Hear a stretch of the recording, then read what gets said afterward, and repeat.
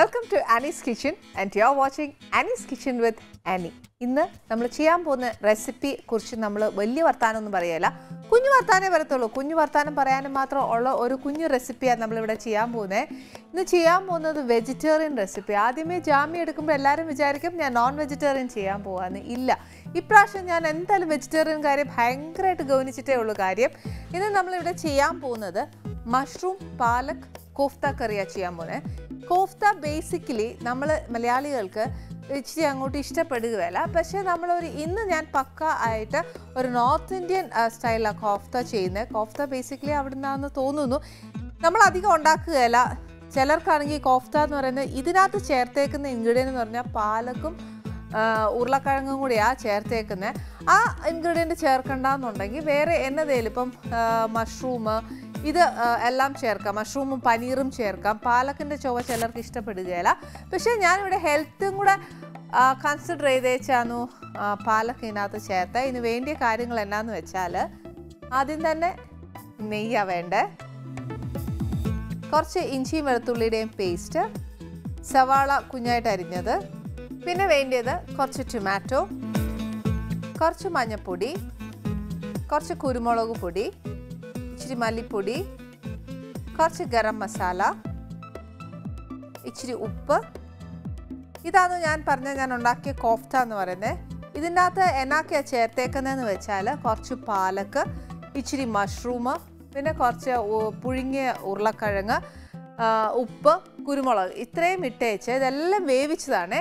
വേവിച്ചേച്ച് നല്ലോണം കുഴച്ച് അത് അഥവാ എന്നാ പറയുക ഉരുളക്കിഴങ്ങൊന്നും ശരിയായി അത് കുഴഞ്ഞു വന്നില്ല എന്നുണ്ടെങ്കിൽ അതൊന്ന് ബൈൻഡ് ആവാൻ വേണ്ടിയിട്ട് ഒരു ഇച്ചിരി മൈദായോ എന്നതേലും ഇട്ട് കൊടുക്കാം അപ്പോൾ നല്ലോണം ഉരുള പിടിക്കാൻ നോക്കുവേ. അങ്ങനെ ചെയ്തേച്ച് ഫ്രൈ ചെയ്തെടുത്ത് വെച്ചേക്കുന്നതാണ് ഈ കോഫ്ത. നെക്സ്റ്റ് വേണ്ടിയത് കുറച്ച് മല്ലിയില. പിന്നെ എന്നാന്ന് വെച്ചാൽ കുറച്ച് ഫ്രഷ് ക്രീമാണ് വേണ്ടിയത് ഇത് ഞാൻ പറഞ്ഞ ഫാറ്റ് കൂടുതലാണെന്ന് ചോദിച്ചാൽ ആണ്. പറയാതിരിക്കാൻ പറ്റില്ല. കാര്യം എന്നാ ഫ്രഷ് ക്രീമും ഉണ്ട് നെയ്യും ഉണ്ട് ഇതിലൊക്കെ ആയത് ഉണ്ടാക്കുന്നത്. പക്ഷേ ഇതിലൊന്നും ഉണ്ടാക്കിയില്ലെങ്കിലുണ്ടല്ലോ. ആ രുചി പൊതുവേ നമ്മൾ ആൾക്കാർക്കൊക്കെ കോഫ്ത ഇച്ചിരി ഇഷ്ടപ്പെടാൻ ഇച്ചിരി പാടാ. എന്നാലും അതിന് ഇച്ചിരി രുചിയായിട്ട് നമ്മൾ ചെയ്യണം എന്നുണ്ടെങ്കിൽ അതിന്റേതായ ഇൻഗ്രീഡിയൻസ് ചേർന്നാലേ അറ്റ്ലീസ്റ്റ് നമുക്ക് ആ ഗ്രേവി എങ്കിലും ഇഷ്ടപ്പെടുത്തുള്ളൂ. പിന്നെ ഈ കോഫ്തായ്ക്ക് പാലക്കിന്റെ ടേസ്റ്റ് ഇഷ്ടമല്ല എന്നുണ്ടെങ്കിൽ ഞാൻ നേരത്തെ പറഞ്ഞ പോലെ പനീറാക്കാം മഷ്റൂം തന്നെ ആക്കാം പിന്നെ ടോഫു ആക്കാം. ഈ കോഫ്ത എണ്ണ വേണേലും ആക്കാം. പിന്നെ ആ കോഫ്ത എന്നതാണോ അതാണോ ആ കറിക്ക് വരുന്ന പേര്. അത്രേ ഉള്ളൂ. ഇനി ഫസ്റ്റ് പാൻ ചൂടായി കഴിഞ്ഞാൽ ഇതിനകത്തോട്ട് ഒരു ഇച്ചിരി ഇഞ്ചിയും വെളുത്തുള്ളി. ഫസ്റ്റ് നെയ്യ് ഒഴിക്കുക.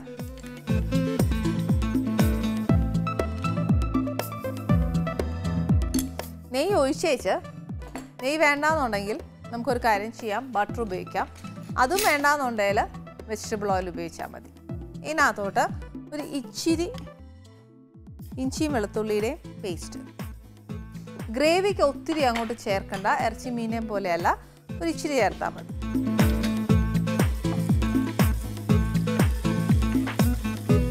ഇഞ്ചിയും വെളുത്തുള്ളിയും നമ്മൾ വീട്ടിൽ നിന്ന് മേടിക്കുന്ന ഉണ്ടാക്കുന്ന ആന്നേൽ ഇത് ഇതുപോലെ അങ്ങ് പൊട്ടിത്തെറിക്കുകയല്ല. വെളിയിൽ നിന്ന് മേടിക്കുന്നതാണെങ്കിൽ അത് ഇച്ചിരി ആ ഒരു വെള്ളത്തിന്റെ കണ്ടന്റ് ഉള്ളതുകൊണ്ടാണ് അതിങ്ങനെ പൊട്ടിത്തെറിക്കുന്നത് മാത്രമല്ല അത് എപ്പോഴും ഞാൻ പറയുന്ന കൂട്ട് നല്ലോണം മൂപ്പിക്കണം. മൂപ്പിച്ചില്ലെന്നുണ്ടെങ്കിൽ അതിനൊരു ചോവ് വരുവേ.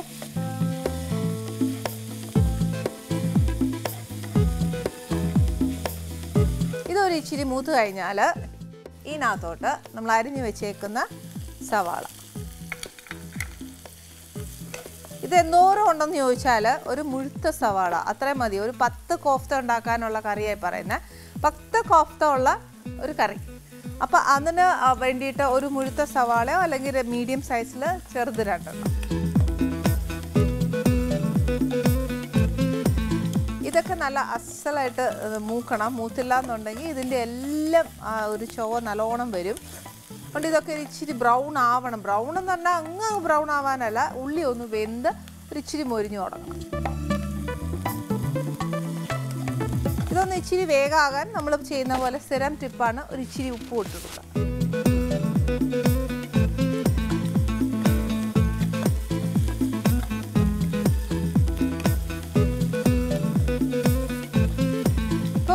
ഒന്ന് വെന്തു. ഞാൻ പറഞ്ഞ പോലെ അത് സ്റ്റാർട്ടഡ് അതൊരു ഇച്ചിരി ബ്രൗൺ ആവാൻ തുടങ്ങിയിട്ടുണ്ട്. ഇനിയാന്നു ഇതിനകത്തോട്ട് ബാക്കി അതായത് നമ്മുടെ ടൊമാറ്റോ ചേർക്കാൻ പോവാ. ഈ ടൊമാറ്റോ എന്ന് പറയുമ്പോൾ അതിന്റെ ആ വെള്ളത്തിന്റെ അംശം എല്ലാം ഇതിനകത്ത് നിന്ന് പോണേ.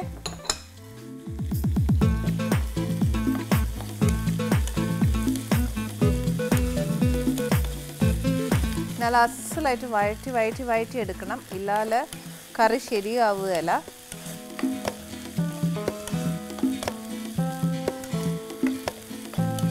ഈ ശരിക്കും പറഞ്ഞാൽ നമുക്ക് ക്ഷമയൊക്കെ ഒക്കാത്തോണ്ടാണ് നമ്മൾ അധികം വഴറ്റി വേല വഴറ്റാത്തടത്തോളം കാലം അതിനാ ആ ഒരു ഒരു എന്നാ പൂർണത കിട്ടുകയില്ല. കിട്ടുകയില്ല എന്നുണ്ടെങ്കിൽ അതുകൊണ്ടൊക്കെ തന്നെയാണ് നമുക്ക് ആ കോഫ്തയുടെ കറി പിടിക്കാഞ്ഞത്. പിടിക്കത്തില്ല നമുക്ക്. അതുകൊണ്ട് എന്നാ ചെയ്യണം? നല്ല അസലായിട്ട് വഴറ്റിയേച്ച് നല്ല രീതിയിൽ വെക്കുവാണെങ്കിൽ കോഫ്തയൊക്കെ ശരിക്കും ഒരു ഇറച്ചിക്കറി കൂട്ടൊക്കെ ഇരിക്കുന്നത്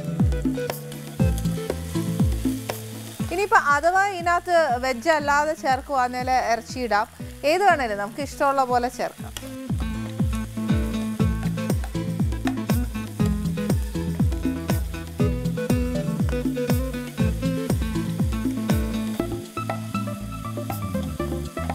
ടൊമാറ്റോ നല്ല മാഷായിട്ട് വരണം. അതിന്റെ തൊലി മാത്രമേ കാണത്തുള്ളൂ. അപ്പം അങ്ങനെ പോകുമ്പോൾ മാത്രമേ ആ ഉള്ളിയും ടൊമാറ്റോ ഒക്കെ നല്ലതായിട്ട് വെന്തതായിട്ട് വരത്തുള്ളൂ. ഇപ്പം ആ തൊലിയിൽ നിന്നൊക്കെ വിട്ട് തുടങ്ങി അതിന്റെ ദശ ആ ഉള്ളിയായിട്ട് അങ്ങ് ചേരുവാണ്.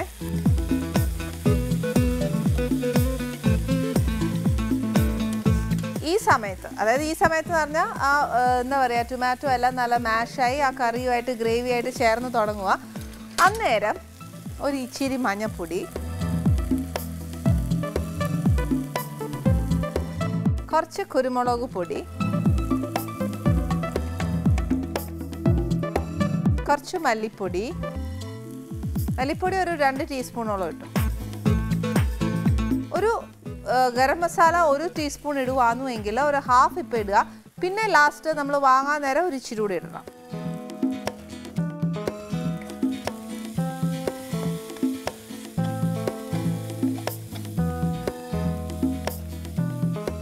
പൊടി നല്ലതായിട്ടൊന്ന് വേവണം.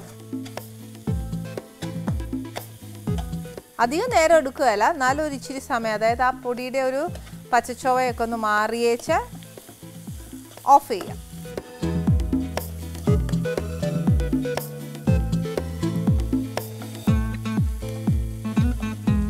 പൊടി എല്ലാം മൂത്തിട്ടുണ്ട്.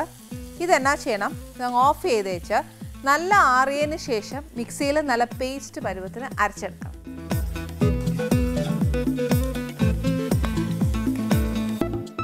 ഇപ്പം നമ്മൾ ആ റെസിപ്പിയിൽ നമ്മൾ ആ കംപ്ലീറ്റ് എന്താ പറഞ്ഞ വഴറ്റിയ സാധനങ്ങൾ കംപ്ലീറ്റ് ആയിട്ട് ഞാൻ അരച്ചിട്ടുണ്ട്.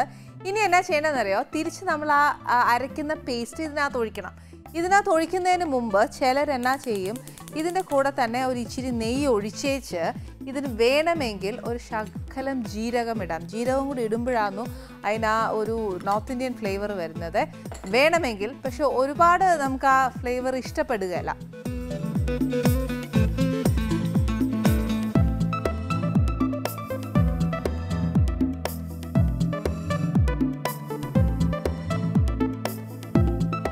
ബട്ടർ ഇടണമെങ്കിൽ അങ്ങനെ ചെയ്യാം. ഇത് നമ്മുടെ ഇഷ്ടമാണ്.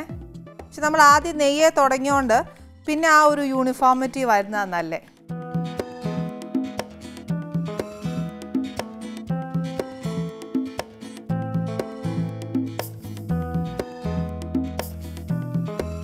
ശരിക്കും ഉള്ളി വഴറ്റാൻ നേരം മാത്രമേ നമ്മൾ ഒരു ഇച്ചിരി ഉപ്പ് ഇട്ടിട്ടുണ്ടായിരുന്നുള്ളൂ. അല്ലാതെ ഉപ്പ് ഇട്ടില്ല ഇനി നമ്മുടെ ഗ്രേവിക്ക് എന്തോരം ഉപ്പാണ് വേണ്ടതെന്ന് വെച്ചാൽ അതനുസരിച്ച് ചേർക്കുക കോഫ്തയ്ക്കകത്ത് ഉപ്പ് ഉണ്ട്. അപ്പം അത്രയും വേണ്ട. ഗ്രേവിയുടെ ഉപ്പ് മാത്രം ഇപ്പം നോക്കി വെച്ചാൽ മതി.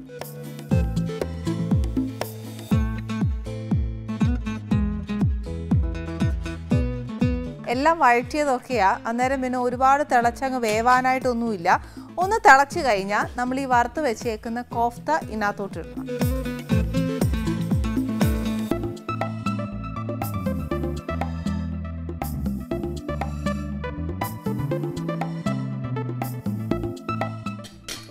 ഇതിന്റെ കൂടെ കുറച്ച് ഫ്രഷ് ക്രീം ഒത്തിരി അല്ല ഇതിന്റെ പകുതി. എന്നാന്നോ? ആ ഗ്രേവിക്കകത്തോട്ട് ആ ഫ്രഷ് ക്രീമിന്റെ ടേസ്റ്റ് വരണം. കോഫ്തയ്ക്കകത്ത് അതിനകത്ത് ഒരു ഫ്രഷ് ക്രീമിന്റെ ടേസ്റ്റ് വരണം. അപ്പോൾ ഒരു ഹാഫ് ഒഴിക്കുക.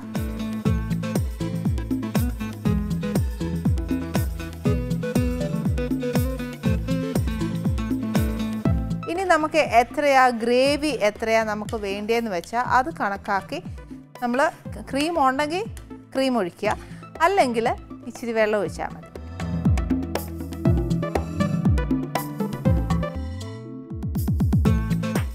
ഇനി കുറച്ച് നേരം കറി ഒന്ന് തിളച്ചേച്ച് നമുക്ക് ആ എന്നാ പറയുക കോഫ്തയുടെ ആ ഒരു ടേസ്റ്റും നമ്മുടെ ഗ്രേവിയുടെ ഒരു ടേസ്റ്റും കൂടെ ഇതിനകത്തോട്ട് മെർജ് ആവണം. അപ്പം അതിന്റെ ഒരു സമയം ഇനി കൊടുക്കുക. ഈ സമയത്താണ് ഞാൻ പറഞ്ഞത് കുറച്ച് മസാലയും കൂടെ ബാക്കി ഒരു ടീസ്പൂൺ ആണെങ്കിൽ ബാക്കി. ആദ്യം നമ്മൾ ഹാഫ് ചേർത്തു. പിന്നെ ഇനിയിപ്പോൾ ഒരു കുറച്ച് ഹാഫ് കൂടി.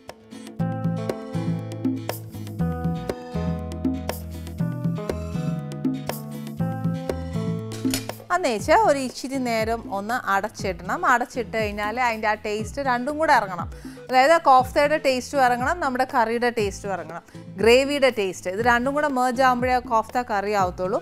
ഒരു ഫൈവ് മിനിറ്റ്സ് കഴിയുമ്പോഴത്തേക്ക് ബാക്കി ക്രീമും കൂടെ ചേർത്തേച്ച് മല്ലിയില വേണമെങ്കിൽ ഇടാം. ഇട്ടേച്ച് ഓഫ് ചെയ്താൽ മതി. മല്ലിയിലയുടെ ഫ്ലേവർ കൂടുതൽ വേണ്ട കസൂരി മേത്തി വേണമെന്നുണ്ടെങ്കിൽ അത് ചേർക്കാം. ഏത് വേണമെങ്കിലും. നമുക്ക് ഏറ്റവും കൂടുതൽ ഫ്ലേവർ ഇഷ്ടം ഏതാണെന്ന് തോന്നിയാൽ കഴിഞ്ഞാൽ അത് ചേർത്തേച്ചാൽ മതി. ഇവിടെ ഇപ്പോൾ ഒരു ഫൈവ് മിനിറ്റ്സ് ഇതൊരു ഫൈവ് മിനിറ്റ്സ് കഴിയുമ്പോൾ എന്നാ ചെയ്യേണ്ടത് വെച്ചാൽ ഇത് എല്ലാം ആ ഒരു എന്താ പറയുക മഷ്റൂമിന്റെ ആ ഒരു കോഫ് ടൈം എല്ലാം നമ്മുടെ ഗ്രേവിയിൽ നല്ലതായിട്ട് പിടിക്കും. എരിവ് മാത്രം ഒരു ഇച്ചിരി കുറവാന്ന് തോന്നിയാൽ അഥവാ വേണമെന്ന് തോന്നിയാൽ ഇതിന്റെ ഇടയിൽ ഒരു ഇച്ചിരി പച്ചമുളക് അരിഞ്ഞൊന്ന് വഴറ്റുന്നു വഴറ്റിയിടുന്നതുകൊണ്ട് കുഴപ്പമൊന്നുമില്ല. പക്ഷെ അതും നെയ്യയിലിടുന്ന ഏറ്റവും നല്ലത്. ഇനി എന്നാ ചെയ്യാൻ പോകുന്നത് ഞാനിത് വാങ്ങാൻ പോവാ. അപ്പോൾ ബാക്കി ക്രീമും കൂടെ.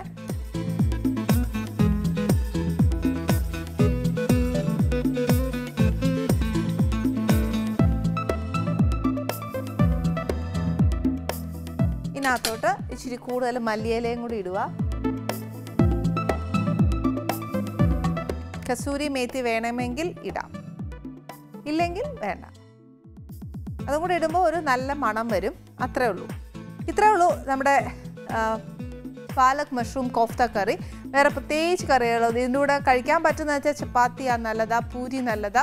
നല്ല ചൂട് പൂരിയും ഇതൊക്കെ കഴിക്കുവാണെങ്കിൽ നല്ല ടേസ്റ്റാണ് പിന്നെ കോഫ്ത നമ്മുടെ മലയാളികൾക്ക് ബേസിക്കലി പെട്ടെന്ന് അങ്ങോട്ട് ഇഷ്ടപ്പെടുകയില്ല. പക്ഷേ അത് ആ ക്ഷമയോടുകൂടി ആ കറി വെക്കുകയാണെങ്കിൽ സത്യം പറയാല്ല ഇറച്ചിക്കറിയെക്കാട്ടിലും നല്ലൊരു ടേസ്റ്റി ഡിഷായത് ഇനി ഇന്ന് നമ്മൾ ഇത്രയും സ്പെഷ്യലായിട്ടും ഇത്രയും സിമ്പിളായിട്ടും ഒരു കാര്യം ഉണ്ടാക്കിയെന്ന് വെച്ചാൽ ഇന്ന് നമ്മുടെ ആനീസ് കിച്ചണിൽ വരാൻ പോകുന്ന ഗസ്റ്റ് എന്ന് പറയുന്നത് വളരെ സിമ്പിളായിട്ട് എന്താ പറയുക ഈശ്വരൻ കനിഞ്ഞനുഗ്രഹിച്ചിട്ട് എന്തെങ്കിലും ഒരു കുറവ് ഈശ്വരൻ നമുക്ക് തരും എന്ന് പറയുന്നത് പോലും പക്ഷേ അതും ഒരു പോസിറ്റീവായിട്ടും അതിനെ ഒരിക്കലും ഒരു വേദനയായിട്ട് കാണാതെയോ ഒക്കെ ആയിട്ട് ജീവിതത്തിനെ മുന്നോട്ട് കൊണ്ടുപോകുന്ന ഒരു വ്യക്തിയാണ് ഇന്ന് നമ്മുടെ ആനീസ് കിച്ചണിൽ വരുന്നത്.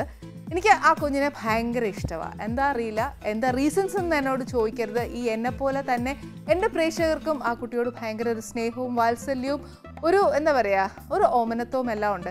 ഇതാരാ എന്താ എന്നുള്ളതല്ല ഇപ്പോഴത്തെ ചിന്ത.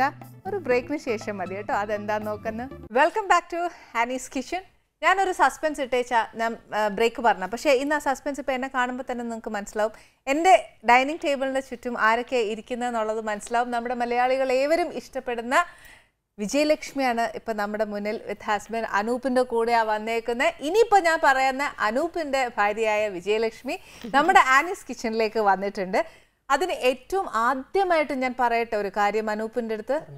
ഈ നമ്മുടെ മലയാളികൾ എല്ലാവരും അനൂപിന്റെ അടുത്ത് ഒരു പ്രത്യേക സ്നേഹമുണ്ട്. എന്താ കാരണം എന്നുള്ളത് ചോദിക്കാതെ തന്നെ അനൂപിന് ഉത്തരം അറിയാം. എല്ലാ മലയാളി പ്രേക്ഷകർക്കും അറിയാം. അതെന്തുകൊണ്ടാണ് ആ താങ്ക്സ് പറഞ്ഞത്? ശരിക്കും ഒരു താങ്ക്സ് ആയിട്ട് പറയാൻ പാടില്ല അനൂപ് അത്. ഇക്കാലത്ത് ഇങ്ങനത്തെ ഒരു മനസ്സുള്ള ഒരു പയ്യനെ കിട്ടാൻ വളരെ ബുദ്ധിമുട്ടാണ്. ആ ഒരു ഡിസിഷൻ എടുത്തതിലും ഞങ്ങളുടെ വിജയലക്ഷ്മിക്ക് ഒരു ജീവിതം കൊടുത്തതിലും ഞങ്ങൾക്ക് വളരെ സന്തോഷം. ഭയങ്കര സന്തോഷവതിയായിട്ടൊക്കെ ഇരിക്കുവാണ്. എന്നാ ഉണ്ട് വിശേഷം വിജയലക്ഷ്മി? സുഖമായിട്ടിരിക്കുന്നു. ഓക്കെ. അതിപ്പോ വിജയലക്ഷ്മിയെ പറ്റി പറയുവാണെങ്കിൽ ഒരു പ്ലസ് പോയിന്റ് അത് പ്ലസ് പോയിന്റ് ആയിട്ട് ഒരിക്കലും പറയാൻ പറ്റില്ല. ക്രെഡിറ്റ് ആയിട്ട് തന്നെ പറയണം. ഇപ്പൊ ഡോക്ടറേറ്റ് എടുത്തു കഴിഞ്ഞു. ഇപ്പൊ ഞാൻ പറയട്ടെ നമുക്ക് ഒരു വയ്യായ്മ ഒരു കയ്യിലൊരു മുറിവ് വന്നാൽ പോലും അയ്യോ അതാണ് എന്റെ ഏറ്റവും വലിയ കുറവ് എന്ന് മനസ്സിലാക്കിയിരിക്കുന്ന നമ്മൾ മനുഷ്യര് വിജയലക്ഷ്മിയെ കണ്ട് പഠിക്കേണ്ട കുറേ കാര്യങ്ങളുണ്ട്. അത് ശരിക്കും ഈ നമ്മുടെ ഈ വർത്തമാനത്തിൽ കൂടെ തന്നെ വിജയലക്ഷ്മി നമുക്ക് അതൊരു മാതൃകയായി മാറട്ടെ. വിജയലക്ഷ്മി ഒരുപാട് കാര്യങ്ങൾ ഞങ്ങളോട് വർത്താനം പറയാനല്ലേ മോളെ? ഒരുപാട് കാര്യങ്ങളുണ്ട്. എന്തൊക്കെയാ പറയണമെന്നുണ്ട് ആദ്യം വിവാഹ വിശേഷം ചോദിക്കാം. പുതുമ അതിലല്ലേ ഉള്ളത്? എങ്ങനെ വിജയലക്ഷ്മിയെ കണ്ടുപിടിച്ചു? എങ്ങനെയായിരുന്നു നിങ്ങളുടെ കല്യാണം എന്നൊക്കെ കണ്ടുപിടിക്കാൻ സി ബി ഐ ഒന്നുമല്ല പക്ഷെ അനുവിനെ സംബന്ധിച്ച് പക്ഷെ എന്നാലും. അതെ. വിജയലക്ഷ്മി അതാരാ മോൾ? അതെ എല്ലാം വിജയലക്ഷ്മിക്ക് സംഗീതമാണ്. സംഗീതമാണ്. ചുറ്റും സംഗീതത്തിൽ മാത്രം ജീവിക്കുന്ന ഒരു ആ ആ, സംഗീതം ഞങ്ങളുടെ വിവാഹത്തിന് പോലും വിജി ബാക്കിയുള്ള കാര്യങ്ങളൊന്നും ശ്രദ്ധിക്കുന്നില്ല. വേദിയിൽ ആരുണ്ടോ? ദാസാറാണോ? വിജയ യേശുദാസ് സാറാണോന്നും വിജി ശ്രദ്ധിക്കുന്നില്ല. വിജി സംഗീതമാണ് ഫ്യൂഷൻ വായിക്കുന്നുണ്ടായിരുന്നു. അതിന്റെ അതിന്റെ സ്റ്റേജിന് തൊട്ട് താഴെ. പക്ഷെ വിജി അതിലാണ് ശ്രദ്ധിച്ചുകൊണ്ടിരിക്കുന്നത് താളമൊക്കെ പിടിച്ചിങ്ങനെ നിൽക്കുകയാണ് വിജി വിവാഹത്തിന്റെ യാതൊരു ടെൻഷനോ കാര്യങ്ങളോ ഒന്നും വിജിക്കില്ല ഓ വിജി ശരിക്കും കുഞ്ഞുനാൾ മുതലേ വിജിക്ക് സംഗീതത്തോട് ഭയങ്കര ഇഷ്ടമായിരുന്നു. ആയിരുന്നു അതെ. ഓർമ്മ വെക്കുമ്പോ അപ്പ തൊട്ട്? അന്നേരം തൊട്ട് ഒന്നര വയസ്സ് തൊട്ട്. ഒന്നര വയസ്സ് തൊട്ട്. എന്താണ് ആദ്യമായിട്ട് വിജി എങ്ങനെ ഓർമ്മയുണ്ടോ വിജിക്ക് എന്താ ചെയ്തതെന്നോ അല്ലെങ്കിൽ സംഗീതം ഒന്നര വയസ്സിൽ ഓർക്കണമെങ്കിൽ ഒന്നെങ്കിൽ അമ്മ പറയണം. ആ അമ്മ അച്ഛനും പറഞ്ഞുള്ള ഓർമ്മ. അച്ഛനമ്മ എന്താ വിജയോട് പറഞ്ഞേ? അതായത് ഞാൻ ജനിച്ചത് തന്നെ ആയിരത്തി തൊള്ളായിരത്തി എൺപത്തി ഒന്ന് ഒക്ടോബർ ഏഴ് വിജയദശമി നാളിലാണ്. അതുകൊണ്ടാണ് വിജയലക്ഷ്മി അതെ അതെ അതെ. അച്ഛന്റെ അമ്മ പേര് പേര് നൽകിയത് കേട്ടോ. ഓക്കെ. അപ്പോൾ അതിനുശേഷം അഞ്ചു വയസ്സ് വരെ ചെന്നൈയിലായിരുന്നു. അവിടെയാണോ വളർന്നത്? അച്ഛൻ അച്ഛനവിടെ ബിസിനസ് ആയിരുന്നു. ഇലക്ട്രോണിക്. അപ്പോൾ ഒന്നര വയസ്സിൽ പാടുമായിരുന്നു അച്ഛനമ്മയും പറഞ്ഞു. ഞാനൊരു സിന്ധു കാവടി സിന്ധു അതൊക്കെയാണ് ആദ്യം പാടിയത്. ഇളയരാജ സാറിന്റെയും എം എസ് വിശ്വനാഥ് സാറിന്റെയും പാട്ടുകളാ കൂടുതൽ. അപ്പോൾ ആൾക്കാർ ചുറ്റും ഇരിക്കുമായിരുന്നു എന്നൊക്കെ പറഞ്ഞു. അങ്ങനെ ഓർമ്മയുണ്ട്. ഓ അച്ഛനും അമ്മയും പറഞ്ഞ് കേട്ടതാണ്. അതെ. അപ്പൊ സംഗീതം പഠിച്ചോ വിജയലക്ഷ്മി? എപ്പോഴാ പഠിച്ച? ഏത് വയസ്സിലാ? അഞ്ചു വയസ്സ് മുതൽ കേരളത്തിൽ വന്ന് ആദ്യം കാസറ്റുകൾ കേട്ടാ പഠിച്ചിരുന്നു ദാസേട്ടന്റെയും Balamurali sir M S Amma ഒരുപാട്. പേര് എല്ലാവരുടെയും പാട്ടുകൾ പാട്ടുകൾ കേൾക്കുമായിരുന്നു. അപ്പൊ ആറാം വയസ്സിൽ ദാസേട്ടനെ ഗുരുദക്ഷിണ സമർപ്പിച്ചു. അപ്പൊ അപ്പൊ ദാസേട്ടനോട് ചെന്നിട്ട് എന്താ മോൾ പറഞ്ഞ എനിക്ക് സംഗീതം പഠിക്കണം എന്ന് ആ ദാസേട്ടനെ ഒന്ന് പരിചയപ്പെടണം. ഒരുപാട് നാളത്തെ ആഗ്രഹമാണ് ദാസേട്ടനോട് നേരിട്ട് സംസാരിക്കണം. ദാസേട്ടനോട് പാടണം. ശരി ദാസേട്ടനെ കണ്ടപ്പോ മോൾ എന്താ ചോദിച്ചേ? എന്താ ചോദിച്ചേ? എന്തോ ഞാൻ ചോദിച്ചായിരുന്നു. അത് പോയിട്ട് സംഗീതത്തെ കുറിച്ച് സംഗീതത്തെ കുറിച്ച് ചോദിച്ചു? സാമജവരഗമനയുടെ സാഹിത്യം പറഞ്ഞുതരാമോ എന്ന് ചോദിച്ചായിരുന്നു. വന്ന് എനിക്ക് കാസറ്റ് കേട്ടപ്പോൾ ശരിക്കും കൂടെ വ്യക്തമായില്ല. അപ്പം അത് ചോദിച്ചപ്പോൾ പറഞ്ഞു സംശയങ്ങൾ തീർത്തു തന്നു അതെ അന്ന് തൊട്ടേ സംശയങ്ങൾ തീർത്തു. ഓക്കെ. ഓക്കെ. വിജയലക്ഷ്മിയെ കുറിച്ച് നമുക്കറിയാം. സംഗീതം മാത്രം ലോകമായിട്ട് അതിൽ ജീവിക്കുന്ന അതിൽ മാത്രം ശ്വാസമാ തോന്നുന്നു ഏറ്റവും കൂടുതൽ. ജീവശ്വാസം സംഗീതമാണ് വിജയലക്ഷ്മി വിജയലക്ഷ്മിയെ കുറിച്ച് നമ്മുടെ മലയാളി പ്രേക്ഷകർക്ക് എല്ലാവർക്കും അറിയാം. വിജയലക്ഷ്മി സംഗീതത്തിലാണ് ജീവശ്വാസം പോലും എന്നുള്ളത് അറിയാം. സത്യം അതിൽ അനൂപിനെ പറ്റി നമുക്ക് അധികം അറിയത്തില്ല. പക്ഷെ അനൂപിന് ഒരു വലിയ സ്ഥാനം ഞങ്ങളുടെ മലയാളികളുടെ ഇടയിൽ ഉണ്ട് പക്ഷെ എന്നാലും അനൂപിനെ കുറിച്ച് അറിയണമല്ലോ ഞങ്ങൾക്ക്. അതുകൊണ്ട് ചോദിക്കൂ അനൂപ് എന്താ ബിസിനസ് ചെയ്യാണോ? ഞാനൊരു കൺസ്ട്രക്ഷൻ കമ്പനിയിൽ ഇന്റീരിയർ ഡെക്കറേഷൻ ആയിട്ട് ഡെക്കറേറ്റീവ് ആയിട്ട് ജോലി ചെയ്യുകയാണ്. അതോടൊപ്പം തന്നെ മിമിക്സ് കുറേ നാൾ ആദ്യകാലത്ത് കുറച്ച് നാൾ മിമിക്സുമായിട്ട് ഉണ്ടായിരുന്നു അതിന് പിന്നെ ജോലിയുടെ ഭാഗമായിട്ട് അതൊക്കെ മാറി മിമിക്സ് ഒക്കെ വിട്ട്. വർക്കുമായിട്ട് നടക്കുകയായിരുന്നു. അവിടെ നിന്നാണോ വിജയലക്ഷ്മിയെ കണ്ടുപിടിച്ചത്? അതെ അതെ. സി ബി ഐ ഡയറക്ട് കുറിപ്പ് വന്ന കണ്ടുപിടിക്കുകയായിരുന്നു വിജയലക്ഷ്മിയെ. അപ്പം ക്ഷേത്രവുമായിട്ട് ബന്ധപ്പെട്ടുള്ള ചടങ്ങുകൾക്കാണ് വിജയലക്ഷ്മിയുടെ വീട്ടിൽ ചെല്ലുന്നത്. അപ്പോൾ വിജയലക്ഷ്മിക്ക് ഒരു നാഗചാമുണ്ടേശ്വരി ക്ഷേത്രമുണ്ട്. അപ്പോൾ ആ ക്ഷേത്രത്തിൽ വിളക്ക് സമർപ്പിക്കാൻ വേണ്ടി ചെന്നതാണ്. അവിടുത്തെ നിലവിളക്കായിരുന്നു നമ്മുടെ ജീവിതത്തിലേക്ക് എത്തുക നമുക്കൊന്നും അറിയത്തില്ലായിരുന്നു. അപ്പോൾ അച്ഛനുമായിട്ട് ഇങ്ങനെ സംസാരിക്കാറുണ്ട് സംസാരിച്ചു. അപ്പോൾ വളരെ സിമ്പിളായിട്ട് സംസാരിക്കുന്നത് വളരെ ഇതായിട്ടുള്ള നല്ല ഇടപെടലൊക്കെയാണ് അവരുടെ സംസാരമൊക്കെ. അപ്പോൾ നമ്മൾ ആദ്യം വിജയലക്ഷ്മിയെ പറ്റി അന്വേഷിക്കും പ്രോഗ്രാം ഉണ്ടോയെന്നൊക്കെ അന്വേഷിച്ചു. ജസ്റ്റ് ചെല്ലുമ്പോഴത്തേക്കും. അത് കഴിഞ്ഞ് കഴിഞ്ഞാൽ നമ്മൾ രണ്ടാമത്തെ കാര്യം എന്ന് വിജയലക്ഷ്മിയുടെ കാഴ്ചയെപ്പറ്റിയൊക്കെയാണ്. അപ്പോൾ ഇങ്ങനെ സംസാരിച്ചൊക്കെ വന്നപ്പോഴത്തേക്ക് അവരുടെ ഒരു വേറെ ഇതിലോട്ട് ദുഃഖങ്ങളൊക്കെ നമ്മളോട് ഇങ്ങനെ പറഞ്ഞപ്പോഴത്തേക്കും നമുക്ക് വിഷമം തോന്നി. അന്ന് ഞാനൊന്നും പറഞ്ഞില്ല. അത് കഴിഞ്ഞ് രണ്ടാമത്തെ ക്ലാസ്സിൽ ചെന്നപ്പോൾ ഞാനിങ്ങനെ ചോദിച്ചു എങ്ങനെയാണ്? അച്ഛൻ പറഞ്ഞു നമുക്ക് അതിനെപ്പറ്റി ആലോചിക്കാം. ആലോചിച്ചിട്ട് ഞാൻ അങ്ങോട്ട് തന്നെ ചോദിക്കാം എനിക്ക് വിജയലക്ഷ്മി കെട്ടിച്ച് തരുമ്പോൾ അങ്ങോട്ട് തന്നെ ചോദിക്കുകയാണ് വിജയലക്ഷ്മിയോട്. അപ്പം നമ്മുടെ ബാക്കി കാര്യങ്ങളൊക്കെ അന്വേഷിക്കണല്ലോ എന്തായാലും. അപ്പോൾ അച്ഛൻ പറഞ്ഞു അതൊക്കെ അന്വേഷിച്ചിട്ട് ഞങ്ങൾ തീരുമാനം എടുക്കാം. ഏകദേശം രണ്ട് വർഷത്തോളം എടുത്തു എന്നാണ് ശരിക്കും കാര്യമായിട്ട് ആ കാര്യമായിട്ട് തന്നെ അന്വേഷിച്ചു വിജിക്ക്. വിജിയുടെ വിജയെ കയ്യിൽ ഏൽപ്പിക്കുന്ന ഒരു വ്യക്തിക്ക് എത്രമാത്രം ഇതിലുണ്ടാവണം എന്ന് പിന്നെ പെൺകുട്ടിയുടെ അച്ഛനാണ്. പ്രത്യേകിച്ചും വിജയലക്ഷ്മിയെ പറ്റി അറിയാമല്ലോ. അതെ. അതെ അതെ. അത്ര ഉറപ്പ് അച്ഛനും അമ്മയുടെയും പോലെ തന്നെ ഉറപ്പ് ഏൽപ്പിക്കുന്ന വ്യക്തിക്കും ഉണ്ടാവണം തീർച്ചയായിട്ടും. കാരണം അവരൊരു ജീവിതം മുഴുവൻ വിജിക്ക് വേണ്ടി കൊടുത്തതാണ്. അപ്പം നമ്മളതൊരിക്കലും ആ രീതി തന്നെ കാണണം. പിന്നെ തീർച്ചയായിട്ടും വേണം. അത് ഈ അതാ ഞങ്ങൾക്കൊക്കെ ഏറ്റവും കൂടുതൽ അനൂപിനെ ഇഷ്ടം. കാര്യം വെച്ചാൽ അത്രയും എന്താ പറയാ? അതിനൊരു നല്ല മനസ്സ് തന്നെ ഈശ്വരൻ ആ ഒരു മനസ്സെന്നല്ല പറയേണ്ടത്. കാരണം ഇത്രയും വലിയൊരു കലാകാരി ഒരിക്കലും ഇങ്ങനെ ജീവിതത്തിൽ ദുഃഖിച്ചിരിക്കരുത്. വിജയലക്ഷ്മി എന്ന് പറയുന്ന ആൾ നമ്മൾ വിജയലക്ഷ്മിയുടെ പാട്ട് കേട്ടു അല്ലെങ്കിൽ പ്രോഗ്രാം കണ്ടു കഴിയുമ്പോൾ നമ്മൾ പറയും മോളെ നന്നായി വരണം അല്ലെങ്കിൽ മോൾ ഞങ്ങൾ പ്രാർത്ഥിക്കാം എന്ന് നമ്മൾ പറയും. പക്ഷെ അതിന്റെ അപ്പുറത്തോട്ടൊരു തലമുണ്ട്. നമ്മൾ ജീവിതം കൊണ്ടൊരു പ്രാർത്ഥന എന്ന് വേണമെങ്കിൽ പറയാം. ആ രീതിയിലേക്ക് ഞാൻ കണ്ടു. തീർച്ചയായും അതാണ്. നമ്മൾ വാക്കുകളിലല്ലാതെ നമ്മുടെ ജീവിതത്തിലേക്ക് വിജയ ക്ഷണിച്ച് വിജയലക്ഷ്മി ഒരിക്കലും ദുഃഖിച്ചിരിക്കുന്ന ഒരാളല്ലേ? എപ്പോഴും ഇങ്ങനെ സന്തോഷമായിട്ടിരിക്കണം. അതെ. അതെ. എവിടെ ചെന്നാലും വിജി നമ്മൾ എത്ര നെഗറ്റീവിനെ പോസിറ്റീവ് ആക്കി എടുക്കാനുള്ള ഒരു കഴിവ് വിജിക്ക് എപ്പോഴും ഉണ്ട്. ഓ അത് നല്ലൊരു കാര്യമാണല്ലോ വിജി ഭയങ്കര സന്തോഷത്തിലാണ് എപ്പോഴും. ആര് ദുഃഖിച്ചിരുന്നാലും വിജിയോട് സംസാരിച്ചാൽ ഓക്കെയാണ്. പോസിറ്റീവ് എനർജി ഭയങ്കരമായിട്ട് വിജിയിലുണ്ട് വിജി എങ്ങനെയാണ് സറൗണ്ടിങ്സ് എപ്പോഴും പോസിറ്റീവ് ആക്കുന്നത് വർത്താനത്തിൽ കൂടിയാണ്? ആ വർത്തമാനത്തിൽ കൂടി കോമഡി വിജി ഭയങ്കര ഹ്യൂമർ സെൻസും കൂടെ ഉള്ള ഒരു കുട്ടിയാട്ടോ.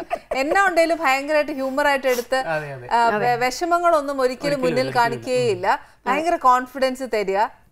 എപ്പോഴാ ഫസ്റ്റ് കച്ചേരി ചെയ്ത മോളെ? ഫസ്റ്റ് കച്ചേരി ഉദയനാപുരം ചാത്തൻകുടി ദേവീക്ഷേത്രത്തിൽ ഏഴ് വയസ്സിൽ. ഏഴ് വയസ്സിൽ. അത് കഴിഞ്ഞ് മോൾ സംഗീതം പിന്നെ ബോംബെ ഷൺമുഖാന്തകൾ അങ്ങനെ അങ്ങ് തുടങ്ങി. മുപ്പത് ഇപ്പൊ മുപ്പത്തൊന്ന് വർഷമായിട്ട് ചെയ്തോണ്ടിരിക്കുന്നു. ചെയ്തുകൊണ്ടിരിക്കുന്നു. ഇനി ഭയങ്കരമായിട്ട് എന്താ പറയാ പരീക്ഷണങ്ങൾ ഇപ്പൊ ഞാൻ. എന്റെ ഭക്ഷണത്തിൽ ഞാൻ പരീക്ഷണങ്ങൾ ചെയ്യുന്നത് പോലെ വിജയലക്ഷ്മി ഭയങ്കര പരീക്ഷണാണ് സംഗീതത്തോട്. അതെ അതെ. അതെന്താ മോൾ അങ്ങനെ തോന്നിയേ? അങ്ങനെ ചെയ്യണം എനിക്ക് പണ്ട് തൊട്ടേ അങ്ങനെ ഒരു ഒരു മൈൻഡ് ഉണ്ടായിരുന്നു. ഉദാഹരണം പി പി കിട്ടിയപ്പോൾ തന്നെ എനിക്ക് തോന്നി. എല്ലാ കുട്ടികളും പി പി മേടിച്ചിട്ട് പേ വേ വേന്ന് പറഞ്ഞ് ഊതിയിട്ട് നാല് വയസ്സാക്കി കളയും. എന്തിനാ അതൊരു പാഴ്വസ്തു അല്ല എന്ന് തെളിയിക്കണമെന്ന് എനിക്ക് തോന്നി. എന്തുകൊണ്ട് അതിന് സംഗീതമാക്കി കൂടാ? പാട്ടിൽ പരീക്ഷിച്ച വരികളിൽ പരീക്ഷിച്ചത് എന്തെങ്കിലും ആ അതുണ്ട്. ഞാൻ സ്വന്തമായിട്ട് ഒരു ഗണപതി സ്തുതി അങ്ങനെയുള്ളതൊക്കെ ചെയ്തിട്ടുണ്ട്. ഗണപതി സരസ്വതി. ഇന്ന് ഇന്നൊരു കാര്യം ചെയ്യാം. പാട്ട് പൊതുവെ മോളെ എനിക്ക് ഭയങ്കര ഇഷ്ടമാണ് എന്നാലും നമുക്ക് ഗണപതിയെ പറ്റി പറഞ്ഞ സ്ഥിതിക്ക് വിഘ്നങ്ങളൊന്നും ഇല്ലാതെ. നല്ല ഐശ്വര്യമായിട്ടുള്ള പ്രോഗ്രാം നടക്കാൻ വേണ്ടി നമുക്ക് ആദ്യം ഗണപതിയെ തന്നെ ആയിക്കോട്ടെ ആയിക്കോട്ടെ. അങ്ങനെ. ദന്തിവദന ശ്രീ ഗണപതേ. दन्दिवदन श्रीगणपते दन्दिवदन श्रीगणपते करुणासागर नमोऽस्तु ते दन्दिवदन श्री गणपते करुणा നമോസ്തു തേ ദന്തിവദന ശ്രീ ഗണപതേ. സ്വന്തമായിട്ട് ചുമ്മാ മനസ്സിലുണ്ടാക്കി കൊറേ നാളായി കാസറ്റ് ആക്കിയോ അത് കാസറ്റ് ആക്കിയിട്ടില്ല അതെന്താ ഇച്ചിരി കൂടി ഒന്നും ആക്കാൻ തില്ലാനും കൂടി ശരിയായിട്ടില്ല. ഓ അങ്ങനെയൊക്കെ ഉണ്ട്. അത് ആ ഭാഷ ഒന്നും എനിക്കറിയാൻ മേലെ കേട്ടോ മോളെ. കുറച്ച് ഈ പറഞ്ഞ പോലെ കാര്യങ്ങളൊക്കെ ഉണ്ട്. സംഗീതം Last പാടുന്ന ആസ്വദിക്കുന്നല്ലാതെ ആസ്വാദകൻ എന്ന് ആ അത്രേ ഉള്ളൂ. അതിന്റെ ഒരു ഡീപ്പ് ഒന്നും എനിക്കറിയില്ല മോളെ. അതുകൊണ്ട് അങ്ങനെ എന്നോട് പറയാം അങ്ങനെ കുറച്ചുകൂടി ചെയ്യാനുണ്ടായിരുന്നു അപ്പൊ അതുകൊണ്ട് എടോ താൻ ഭയങ്കര ഹ്യൂമർ സെൻസ് ഉള്ള ഒരാളാന്ന് അറിഞ്ഞേ. ഇത് പാട്ടിനകത്ത് താൻ ഈ കോമഡി ഒക്കെ ചേർക്കോ? ആ ചെയ്യാറുണ്ട്. അതൊന്ന് പാടിയിടോ. അതെന്താ ചെയ്തേ? തന്റെ കൊറേ എന്താ പറയാ ഇൻവെൻഷൻസ് ഒക്കെ ഞങ്ങളും കൂടെ ഇന്നലെ എന്നുള്ള സിനിമയിലെ കണ്ണിൽ നിന്മയിൽ ഓർമ്മപ്പൂവിൽ നിന്നാരോ പേലിയൊഴിഞ്ഞു പൊന്നോ പൂമുത്തോ വർണത്തെല്ലോ നിൻ ഭാവം മോഹനമാക്കി അത് ഞാൻ ഇച്ചിരി കോമഡി ആക്കിയിട്ടുണ്ട്. കണ്ണിൽ നിന്മയിൽ ഓർമ്മപ്പൂവിൽ നിന്നാരോ പേലിയൊഴിഞ്ഞു എന്റെ പൊന്നോ പൂമുത്തോ വർണത്തെല്ലോ നിൻ ഭാവം മോഹനമാക്കി. ഇത് കൊള്ളാലോ അനൂപ്. ഈ അനൂപ് മിമിക്രി ഒക്കെ ചെയ്തിട്ടാണ് ഈ പാരഡി ഒക്കെ ഇച്ചിരി ഒക്കെ പറഞ്ഞു കൊടുക്കുന്നത്? അല്ല ഇത് നേരത്തെ ഇത് സ്വന്തമാണ്. ഇത് സ്വന്തമായിട്ട് ഉണ്ടാക്കുമ്പോഴത്തേക്ക് വിജി ഫസ്റ്റ് ആരോടാ ക്ലാരിഫൈ ചെയ്യുന്നത്? ഇത് ശരിയാവോ അച്ഛനോടും അമ്മയോടും. അച്ഛന്റെ അമ്മയുടെ. അനൂപ് വന്നതിന് ശേഷം? എല്ലാവരോടും സംസാരിക്കാറുണ്ടെങ്കിലും കൂടുതലും അച്ഛനും അമ്മയാണ് വിജി അന്ന് എല്ലാവരോടും. എല്ലാരോടും ഉണ്ട്. അനൂപ ചുമ്മാ അങ്ങനെ പറയലോ ഇപ്പൊ അനൂപിനോട് അല്ലേ വിജി ആ പിന്നെ അല്ല ചുമ്മാ അച്ഛനമ്മ എന്ന് പറയല്ലേ. അല്ല എന്നാന്നറിയോ? ഞാൻ ചോദിക്കാൻ കാര്യം ഇപ്പൊ വിജി കുറെ ഇൻവെൻഷൻസ് ചെയ്യുന്നുണ്ട് പാരഡി ആയാലും. അപ്പം അനൂപ് മിമിക്രിയിൽ ഇരുന്നത് കൊണ്ട് മിമിക്രിയിലാണ് ഏറ്റവും കൂടുതൽ പാരഡി വരുന്നത്. അതുകൊണ്ട് ഹെൽപ്പ് ചെയ്യുന്നുണ്ട് അനൂപ്? ഞാൻ പറയാറുണ്ട് എന്നോട് വിജി പാടൊക്കെ പാടി കേൾപ്പിക്കാറുണ്ട്. നമുക്ക് ഇത് ഇങ്ങനെ ചെയ്താൽ എങ്ങനെയായിരിക്കും എന്നൊക്കെ ചോദിക്കാറുണ്ട് അനൂപ് പാരഡി ഇതൊന്നും ഉണ്ടാക്കിയിട്ടില്ല. ഇല്ല വിജി ഇങ്ങനെ പാടും. വിജയാണ് ഏറ്റവും വലിയ ആൾ. അല്ല അനൂപിന്റെ പ്രൊഫഷണൽ അല്ല ഞാൻ സൗണ്ട് ഒക്കെ ഇമിറ്റേറ്റ് ചെയ്യുന്നേ ഉള്ളൂ. അത്രേ ഉള്ളൂ. പാരഡി ഗാനങ്ങളിലോട്ടൊന്നുമില്ല. ഇല്ല. സ്റ്റേജ് പെർഫോമൻസ് ഒക്കെ ഒരുപാട് ചെയ്തിട്ടുണ്ട്. എന്തൊക്കെയാ മിമിക്രി ചെയ്തിട്ടുണ്ട് mimicry Nazir sir Umar sir അങ്ങനെയൊക്കെ കുറച്ച് നാൾ കൊച്ചിൻ കലാഭവനിൽ രണ്ടായിരത്തി ഒന്ന് രണ്ടായിരത്തി രണ്ടിൽ മിമിക്രി പഠിക്കാൻ വേണ്ടി പഠിക്കുക എന്ന് പറയാൻ പറ്റത്തില്ല. ജന്മസിദ്ധമായ കഴിവാണ് നമ്മൾ ചെയ്യേണ്ടതെങ്കിൽ തന്നെയും കുറച്ചുകൂടെ ഡെവലപ്പ് ചെയ്യാൻ വേണ്ടി അവിടെ പോയി പഠിച്ചിരുന്നു. അതെ. നമ്മുടെ പ്രചോദീകരണൊക്കെ ഉണ്ടായിരുന്നു ഷാജൻ ചേട്ടനൊക്കെ അവിടെ ഉണ്ടായിരുന്നു പഠിച്ചിരുന്നു. പിന്നെ അത് കണ്ടിന്യൂ ചെയ്യാൻ ഞാൻ അനൂപ് നമ്മുടെ വർക്കും കാര്യങ്ങളും ഓരോ സാഹചര്യങ്ങളുണ്ടല്ലോ നമ്മുടെ. അതെ അതെ. അവിടെ പഠിക്കുന്നവരെല്ലാവരും ഒരിക്കലും പ്രൊഫഷണലായിട്ട് രംഗത്തേക്ക് എത്തുന്നില്ല. അവിടെ ചെല്ലുമ്പോഴേ അറിയാൻ പറ്റുള്ളൂ. ഏകദേശം അറുപത് എഴുപത് കുട്ടികൾ അവിടെ പഠിക്കുന്നുണ്ടെങ്കിൽ അത് കുറച്ച് പേരെ സ്റ്റേജിലോട്ട് എത്തുന്നുണ്ട് അത് കോഴ്സായിട്ടൊന്നും അല്ലല്ലോ അവിടെ? അല്ല അങ്ങനെയൊന്നുമില്ല. ഇപ്പൊ കുറെ കൂടെ ഉണ്ടല്ലോ വേദികൾ കിട്ടുന്നുണ്ട് ഇപ്പം. പക്ഷെ അന്ന് രണ്ടായിരത്തി രണ്ടായിരം രണ്ടായിരത്തി ഒന്ന് പറയുമ്പോഴത്തേക്കും അത്രയധികം വേദികളില്ല. മീഡിയാസ് ഒന്നും അത്ര ഇതില്ലല്ലോ ഇതിപ്പോ നമ്മളെല്ലാം നമ്മുടെ പെർഫെക്ഷൻസ് ചെയ്ത് വെച്ച് നമ്മളായിട്ട് സ്റ്റേജ് കണ്ടെത്തിക്കോണം. ആ അന്നത്തെ കാലത്ത് അതായിരുന്നു. കുറച്ചൊക്കെ ആൾക്കാരുമായിട്ട് ഇതുണ്ടാവണം. ഇപ്പൊ എന്ന് പറഞ്ഞാൽ വേദികൾ ഇഷ്ടം പോലെ ഉണ്ട്. നമുക്ക് എന്ത് വേണമെങ്കിലും ചെയ്യാനുള്ള അവസരങ്ങളുണ്ട് അവസരങ്ങളുണ്ട് ഇപ്പൊ ഡോക്ടറേറ്റ് എടുത്തു. ഇനി വിജി എന്തോ ചെയ്യാനാ അപ്പൂന്നെ ഇങ്ങനെ അപൂർവ രാഗങ്ങളെ കുറിച്ച് ഇങ്ങനെ പഠിച്ചുകൊണ്ടേയിരിക്കുക. വിജി പുതിയത് എന്തെന്ന് കണ്ടെത്താനുള്ള ശ്രമത്തിൽ വെറൈറ്റീസ് വെറൈറ്റീസ് അതായത് നേരിട്ടുള്ള പാതയിലൂടെ പോകാതെ കുറച്ച് മാറി നടക്കാൻ ആഗ്രഹിക്കുന്നതാണ് എപ്പോഴും ഒരു വെറൈറ്റീസ് എല്ലാ കാര്യത്തിലും ആഹാരത്തിലായാലും ഭക്ഷണത്തിലായാലും. എല്ലാത്തിനും ഒരു വെറൈറ്റി നോക്കാം എപ്പോഴും മോൾ പഠിക്കുന്നുണ്ടോ സംഗീതം? ആ ഗുരുമുഖത്ത് നിന്ന് ഇപ്പോൾ ഏഴും ഏഴാം വയസ്സിൽ പഠിച്ചു തുടങ്ങി ആദ്യ ഗുരു അമ്പലപ്പുഴ തുളസി ടീച്ചറായിരുന്നു ഒരു ഗുരുക്കന്മാർ ധാരാളം ഉണ്ട് കേട്ടോ Mavelikkara Ponnammal teacher P Subrahmanya sir Vaikom Suma teacher Sivananda sir Nedumangad Sivananda sir ഇവന് ഫോണിൽ കൂടി ദാസേട്ടനും എം ജയേന്ദ്ര സാറ് ബിന്നി ചേച്ചി എല്ലാവരും പഠിപ്പിക്കുന്നുണ്ട്. മധു ബാലകൃഷ്ണൻ ചേട്ടനെല്ലാം പഠിപ്പിച്ചു. പിന്നെ ഒത്തിരി ഗുരുക്കന്മാരുണ്ട്. കാവാല ശ്രീമാ സാർ കുറെ ഉണ്ട് കേട്ടോ. ഒരുപാടുണ്ട്. നല്ല കാര്യല്ലേ? ഇതിന്റെ ഇടയ്ക്ക് മോൾ സിനിമയെ പാടിയില്ലേ? ആ കാറ്റേ കാറ്റേ. അതെങ്ങനെ ഉണ്ടായിരുന്നു പാടിയപ്പോ? നല്ല ഒരു ഭാഗ്യമാട്ടോ. ജീവിതത്തിൽ ഒരു വഴിത്തിരിവാണ് ഈ കാറ്റേ കാറ്റേ എന്നുള്ളതാണ് തീർച്ചയായിട്ടും. കാര്യം ഇത്രയും നാൾ അങ്ങനെ മോൾ പാടിയില്ല. നിലവിൽ ഇവിടെയും വരെ എത്തിച്ചത്. പക്ഷെ വിജയ് അത് എന്താ അറിയോ നല്ല ഹിറ്റ് ആയിട്ടുള്ള ഒരു പാട്ടാണ് പിന്നെ അതൊന്ന് പാടാം നമുക്ക് വിജയ്. ആയിക്കോട്ടെ.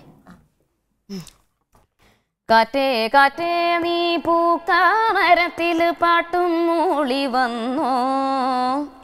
പാട്ടും മൂളി വന്നോ? ഞാലി പൂങ്കതളി വാഴ പൂക്കളിൽ ആകത്തെ നിറഞ്ഞോ ആകത്തെ നിറഞ്ഞോ ആറ്റ് നോറ്റ് ഈ കാണാമരത്തിന് പൂവും കായും വന്നോ? മീനത്തി വെയിലിൻ ചൂടിൽ തണു തൂവൽ വീശി നിന്നോ തൂവൽ വീശി നിന്നോ. പിന്നെ. ഇല്ല പിന്നെ. അല്ല വിജയ് ഒരു കാര്യം ചെയ്യട്ടെ ഈ സിനിമയിലാ പാടാൻ പോകുന്നത് എന്നുള്ളത് ആരാ പറഞ്ഞ ആദ്യം? എം ജയന്തി സാർ തന്നെ സാർ വിളിച്ചു പറഞ്ഞോ? ആ വിജയലക്ഷ്മി എനിക്ക് വേണ്ടി ഒരു പാട്ട് പാടാൻ പോകുന്നു. വിജയലക്ഷ്മി? അനൂപ് അനൂപ് തോറ്റു പറഞ്ഞത്. എങ്ങനെ ചോദിച്ചേ? ഒന്നുകൂടെ പറഞ്ഞു. വിജയലക്ഷ്മി സിനിമയിൽ എനിക്ക് വേണ്ടി ഒരു പാട്ട് പാടാൻ പോകുന്നു. ഓക്കെ അപ്പൊ വിജയലക്ഷ്മി എന്ത് പറഞ്ഞു? അയ്യോ. ജയന്തി സാറും അതുപോലെ പറഞ്ഞു. അയ്യോ. സംസാരിക്കാറുണ്ട്. മോളെ ഓരോ പരീക്ഷണങ്ങൾ മങ്ങൾ ഈ സിനിമ മീൻ പാട്ടിൽ ചെയ്യുമ്പോൾ ആസ് എ ഗുരുസ്ഥാനി ആരിൽ നിന്നാണ് ഏറ്റവും കൂടുതൽ ഫിൽട്ടർ ചെയ്യാനും അതിന്റെ തെറ്റുകൾ മനസ്സിലാക്കാനും മോൾ വിളിക്കുന്ന ആരെയാണ്? ദാസേട്ടൻ പ്രധാനമായിട്ട്. ദാസേട്ടനെ വിളിക്കുമ്പോൾ അദ്ദേഹം സമയം കണ്ടെത്തി മോക്ക് എല്ലാ കാര്യവും പറഞ്ഞു രാവിലെ പറ്റിയില്ലെങ്കിൽ വൈകുന്നേരം ആയാലും വിളിച്ചു പറഞ്ഞു കേട്ടോ. രാഗത്തെ കുറിച്ചൊക്കെ ഏത് വേണം? എല്ലാം പറഞ്ഞു തരും എല്ലാം പറഞ്ഞുതരും. ഇന്നാളും കൂടി വിളിച്ചു. അദ്ദേഹം തിരക്കിലാണെങ്കിൽ ഓർത്ത് വെച്ച് വിജയ് പിന്നെ വിളിച്ച കാര്യങ്ങൾ. നല്ല മന- മനസ്സിന്റെ പറയുമ്പോൾ നമുക്ക് പിന്നെ ഭാഗ്യമല്ലേ അത്? ഗാന ഗന്ധർവനിൽ നിന്നും കാലഘട്ടത്തിൽ ജീവിക്കുന്നു എന്ന് പറയുന്നത് സത്യം. സത്യം. മനസ്സിലെന്നും ദാസേട്ടനുണ്ട്. ഒരിക്കൽ പോലും ഭഗവാൻമാർക്ക് പോലും അല്ലെ? അയ്യപ്പനായാലും ശരി ഗുരുവായൂരപ്പനായാലും ശരി എല്ലാരും അദ്ദേഹത്തിന്റെ പാട്ട് മീഡിയേറ്റർ പോലെയാണ്. നമ്മൾ പ്രത്യാനം കേൾക്കുമ്പോൾ നമ്മൾ ആ തരത്തിലേക്ക് എത്തുന്നുണ്ടെങ്കിൽ ദാസേട്ടനോട് അത്. അത്രയും ആഴത്തിൽ അദ്ദേഹം പാടി മനസ്സിലേക്ക് എത്തുന്നു. നമ്മളെ ഈശ്വരിലേക്ക് എത്തി ദാസാർ അങ്ങനെയാണ്. ശരിക്കും. പിന്നെ വേറെ എന്തെല്ലാം വിശേഷങ്ങൾ വിജി? ദാസേട്ടൻ ഞങ്ങളുടെ വീട്ടിൽ വന്നിരുന്നു കേട്ടോ അത് പറഞ്ഞില്ല? എന്നിട്ട്? ഗായത്രി വീണ സമർപ്പിച്ചായിരുന്നു വേറെ. അല്ല പിന്നെ. നല്ല പിന്നെ. അല്ല ഈ ഇൻസ്ട്രുമെന്റ്സ് ഒക്കെ വിജി എങ്ങനെ പഠിച്ചു മോളെ? തനിയെ പഠിച്ചതാ. എല്ലാം പിന്നെ ഗായത്രി വീണ കീബോർഡ് മൃദംഗം അപ്പൊ മോളെ ഞാൻ ചോദിക്കുന്നത് വിഷമല്ല ഞാൻ ചോദിക്കുന്നേ. എന്താ അറിയോ മോളെ കീബോർഡ് ഒക്കെ മോക്ക് എങ്ങനെ വായിക്കാൻ പറ്റും? ചുമ്മാ തപ്പിന്തറിഞ്ഞു തെളിഞ്ഞു ഈ ഒരു ഉദ്ദേശം വെച്ച് സംസ്ഥാനമൊക്കെ കണ്ടുപിടിച്ച്. നമ്മൾ കുറെ ദിവസം എടുക്കും അങ്ങനെ പഠിക്കാൻ? ഇല്ല അന്നേരം ഞാൻ ചുമ്മാ വായിച്ചു കൊടുക്കും അപ്പൊ ഈ വീണ അതൊക്കെ? വീണയും തന്നെ തന്നെ എല്ലാം ഭഗവാൻ തന്നെ ഗുരു. സത്യം ഈശ്വരൻ എന്നും മോളുടെ കൂടെ ഉണ്ടാവട്ടെ. കാര്യം ആ ഒരു ശക്തി എന്ന് പറയുന്നത് ഏറ്റവും വലിയൊരു ശക്തി തന്നെ. അത് പറയാതിരിക്കാൻ പറ്റേയില്ല പിന്നെ കസു വായിക്കും കസു അമേരിക്കൻ ഇൻസ്ട്രുമെന്റ് കസു? കസു. അതെങ്ങനെയാ മോൾ അത് അത് വായിൽ വെച്ചിട്ട് മൂളിയാ പാട്ട് മൂളണം പി പിയുടെ അത് തന്നെ. മോൾ അതിപ്പോ എവിടുന്ന് ആരാ ഗിഫ്റ്റ് ചെയ്യുന്നതാണോ മോൾ പോയപ്പോ? അമേരിക്കയിൽ നിന്ന് മേടിച്ചായിരുന്നു. അതിനു മുമ്പ് ആലപ്പുഴയിലെ ഒരു ഫ്ലൂട്ട് ആർട്ടിസ്റ്റ് ജോസി ചേട്ടൻ ബർത്ത്ഡേ ഗിഫ്റ്റ് ആയിട്ട് തന്നു. ആ. അതങ്ങനെയാണ്. മോളെ ആ ഒരു ഇൻസ്ട്രുമെന്റ് എന്താ പറഞ്ഞ മോളിപ്പോ? കസു. കസു. അതെങ്ങനെ ഇരിക്കൂടാ? കൊണ്ടുവന്നിട്ടുണ്ട്. പിന്നെ ഇതൊക്കെയായിട്ടാണ് ഞങ്ങൾ യാത്ര തുടങ്ങുന്നത് തന്നെ. അതെ. ഇതാണ് നോക്കട്ടെ മോളെ. ആയിക്കോളൂ ആയിക്കോട്ടെ ആയിക്കോട്ടെ. നമ്മുടെ ജിങ്കനമണി എന്നുള്ള പാട്ടില്ല? അതിന്റെ ഓപ്പൺ ഫസ്റ്റ് തുടങ്ങുന്നത് ഇങ്ങനെയാണ്. ഓ ഒന്ന് വായിച്ച് കേൾപ്പിക്കോ മോളെ? ആയിക്കോട്ടെ. ഇത്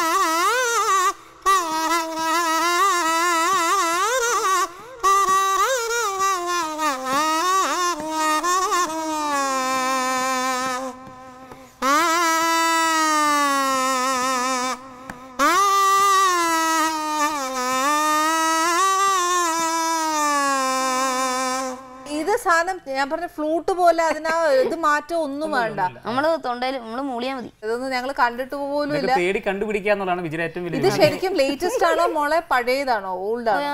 പഴയതാട്ടെ ചരസാർക്ക് ഉപയോഗിച്ച് കുറേ നാളായി. ഉള്ളതാണ്. അല്ല പഴയ ഇൻസ്ട്രുമെന്റ് ആണ്. ടെക്നോളജി കണ്ടുപിടിച്ചതല്ല. ചെന്നപ്പോൾ ക്യാച്ച് ചെയ്ത് കൊണ്ടുവന്നു മാത്രമേ ഉള്ളൂ. അത് വിജയ്ക്ക് വേണ്ടി അതാണ്. വിജയലക്ഷ്മിയുടെ പെർഫോമൻസ് അല്ല ഇപ്പൊ ഇത്രയും നേരം ഞാൻ കുറച്ചു നേരം കാണുക ഇനി എനിക്ക് അനൂപിന്റെ പെർഫോമൻസ് ആണ്. നല്ലൊരു മിമിക്രി ആർട്ടിസ്റ്റ് ആണെന്ന് പറഞ്ഞു. ആരുടെങ്കിലും ഒരു ശബ്ദം അനുകരിക്കില്ല അനൂപ്? അപ്പം മാഡത്തിന്റെ ഈ ഷോയിൽ അദ്ദേഹം വന്നിരുന്നെങ്കിൽ ഭഗവാനെ. ഈശ്വര. അമൃത ടി എല്ലാ പ്രേക്ഷകർക്കും നമസ്കാരം.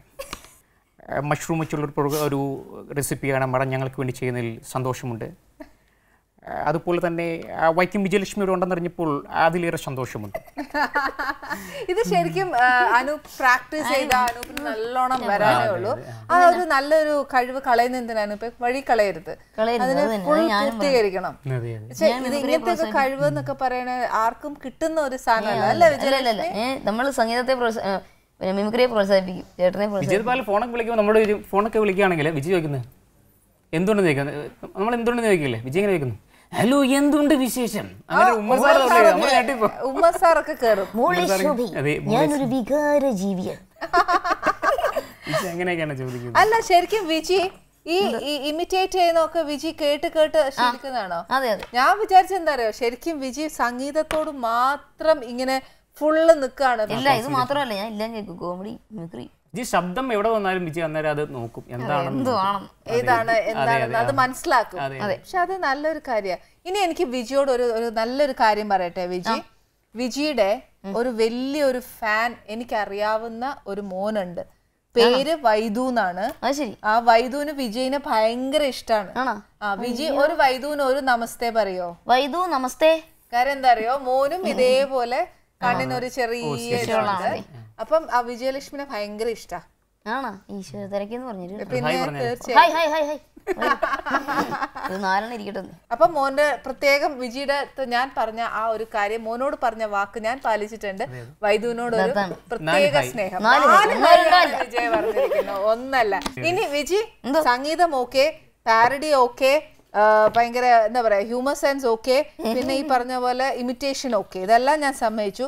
ഇനി എന്റെ മേഖല എന്ന് ചോദിച്ചോട്ടെ. പാചകം വല്ലതും ചെയ്യോ? പാചകം വാഴയില ഉണ്ടാക്കാം.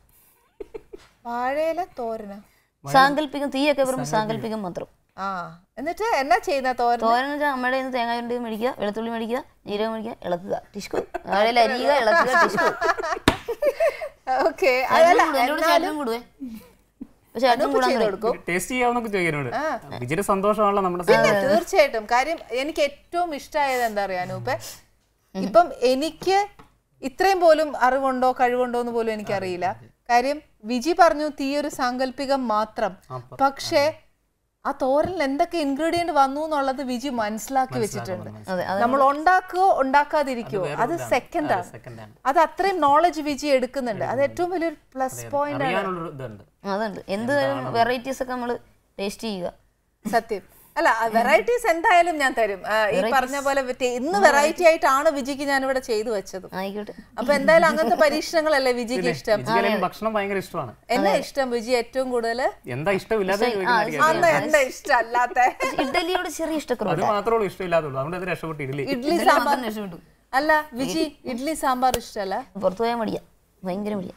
ഇഷ്ടമല്ല ഇഷ്ടം. ദോശ ഏറ്റവും ഇഷ്ടം. ദോശ ചപ്പാത്തി പൂരി അങ്ങനെയുള്ളത്. പിന്നെ മീൻ കഴിക്കും കേട്ടോ മീൻ കഴിക്കും. മീൻ ഭയങ്കര ഇഷ്ടമാണ് മീൻ വറുത്തതാണ് ഇഷ്ടം? രണ്ടും ഇഷ്ടമാണ് നമ്മൾ വെറൈറ്റീസ് ആണ്. മീൻ വറുത്തതും കട്ടൻ ചായയും സ്നാക്സ് ആയിട്ട് കഴിക്കുന്നത് ഞാൻ ആദ്യമായിട്ട് ഒരാളെ കാണുന്നത് വിജിയിലാണ്. മീൻ വറുത്തതും കട്ടൻ സ്നാക്സ് ആയിട്ട് നാല് മണിക്കൊക്കെ കഴിക്കുക. മീൻ വറുത്തതും കട്ടൻ ചായ നല്ല ടേസ്റ്റ് ആണോ വിജി? ആ പിന്നെ എന്നെ സൂപ്പറാന്ന് അറിയാം? കഴിച്ചു നോക്കണേ ആ ഞങ്ങൾ ഇതുവരെ ആരും കഴിച്ചിട്ടില്ല. അങ്ങനത്തെ ഒരു കോമ്പിനേഷൻ കേസിട്ടാണ് ആ ഇതാരാ പഠിപ്പിച്ച? അമ്മ പഠിപ്പിച്ചാണ് സ്വന്തം? കണ്ണൂര് പോയപ്പോൾ ഇങ്ങനെ കഴി- കഴിച്ചു. എന്റെ വലിച്ചൻ പറഞ്ഞു. വലിയച്ഛനൊക്കെ കണ്ണൂരാ? അല്ലല്ല വലിച്ചൻ നമ്മുടെ ഇവിടെ തന്നെയാണ്. ഡൽഹിയിലാണ് താമസിക്കുന്നത്. വലിച്ചൻ ഇങ്ങനെ പറഞ്ഞു കണ്ണൂരുകാർ കഴിക്കുന്നുണ്ട്. ഏ, എന്നാ ഞാനും ഒന്ന് നോക്കിയേക്കാന്ന് ഒരു വിചാരിച്ചു അതിൽ ഏറ്റവും ഇഷ്ടം കട്ടൻ ചായയും മീൻ വറുത്തതും. ചിക്കനോട് ഇഷ്ടമല്ല. ആ വല്ലപ്പോഴും കഴിക്കും. എല്ലാം ഇഷ്ടമാണ് ഇല്ലാതൊന്നുമില്ല ദൈവം അനുഗ്രഹിക്കട്ടെ. അത് നല്ലൊരു കാര്യമല്ലേ? ഭക്ഷണത്തോട് ഫസ് ഇല്ല വിജി ഇന്ന് ഞാൻ ഒരു കാര്യം ചെയ്യാം. നല്ല ഒരു പരീക്ഷിച്ചിട്ടുണ്ട് ഞാൻ ഇന്നൊരു സാധനമേ. അപ്പൊ വിജി കഴിച്ചു നോക്കണം. അത് എങ്ങനെ ഉണ്ടെന്ന് പറയണേ. അതെ. പിന്നെ കുറെ പരീക്ഷണങ്ങളുണ്ട് ചേച്ചി. എന്നതാ? ചപ്പാത്തി സേമിയ പായസം. സേമിയ. ഇന്ന് ഞാൻ ഉച്ചയ്ക്ക് കഴിച്ചു കേട്ടോ. ഇന്ന് ഉച്ചയ്ക്ക് കഴിച്ചു. വിജി ഇതേതാണ്ട് ഞാൻ വിജിക്ക് പഠിക്കണം. വിജി ഞാൻ ഇനി സത്യം പറയട്ടെ. വിജി കഴിച്ച ചപ്പാത്തിയാണോ ബോളിയാണോ? ചപ്പാത്തി തന്നെ ചപ്പാത്തി അല്ല സേമിയ പായസത്തിൽ മുക്കി കഴിച്ചു. പിന്നെ ലഡു ചപ്പാത്തി. ദൈവം പലതും അല്ല ഒരു കാര്യം ചോദിക്കട്ടെ? വിജി നല്ല കോമ്പിനേഷൻസ് ഒന്ന് കുറച്ച് പറഞ്ഞു എന്നൊക്കെ കഴിക്കുന്നത്? ഇന്നലെ ഞാൻ എന്ത് ചെയ്യുന്നറിയോ? കൊഴുവേണ്ട ഈന്തപ്പഴവും കൊഴുവാക്കറിയും കൂടെ കഴിച്ചു. ഡേറ്റ്സ് ആ. നമ്മുടെ കുഞ്ഞ് മീനല്ലേ? അത് തന്നെ നത്തോലി ചെറിയ മീനല്ല നത്തോലിയുടെ തെളിയിച്ചു നത്തോലി ചെറിയ മീനല്ല. അതും ഡേറ്റ്സും കൂടെയോ ചായക്കോ? അല്ല ഉച്ചയ്ക്ക് ചോറിന് കഴിഞ്ഞിട്ട്. ഇത് കേൾക്കാൻ കൊള്ളാട്ടോ. പല വെറൈറ്റിയാണ് വിജി ചെയ്യുന്നത്. ഇപ്പൊ വിജിക്ക് ഞാൻ ദാ ചപ്പാത്തിയാ തരാൻ പോകുന്നത്. എന്റെ ഇത് എന്താ ഇത്? ഇത് മൈക്കാണോ ചപ്പാത്തിയാണോ? മൈക്കല്ല ചുരുട്ടി വെച്ചേക്കുവാ ചപ്പാത്തി.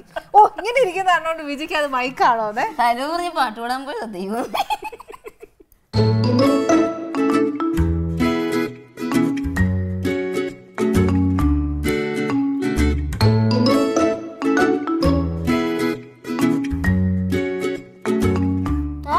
ചേച്ചി? എന്റെ പൊന്നു. പൊളി. ഓക്കെ അച്ഛനും അമ്മയ്ക്കും സംഗീതം ഭയങ്കര ഇഷ്ടമാണ് പാടും. ആ അങ്ങനെയാണോ മോളെ പഠിപ്പിച്ചേ? അതെ അച്ഛനും അച്ഛന്റെ അമ്മയും പാടുമായിരുന്നു. സംഗീത കൊടുക്കണം കേട്ടോ.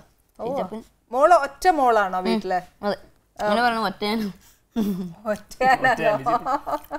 എപ്പോഴും പറയുന്ന വാക്കാണ് ഒറ്റയാനാണ്. ഇനിയിപ്പം അനൂപ്പ് ബിസിനസ്സുമായിട്ട് മുന്നോട്ട് പോവാ. ഇനി വിജിയുടെ ജീവിതം തീരുമാനം. വിജിയുടെ- സന്തോഷമാണ് എന്റെ സന്തോഷം. എന്റെ സന്തോഷമല്ല നമ്മുടെ എല്ലാവരുടെയും സന്തോഷം വിജയുടെ സന്തോഷമാണ്. അപ്പൊ അതിൽ ഞാൻ ചേരുന്നു.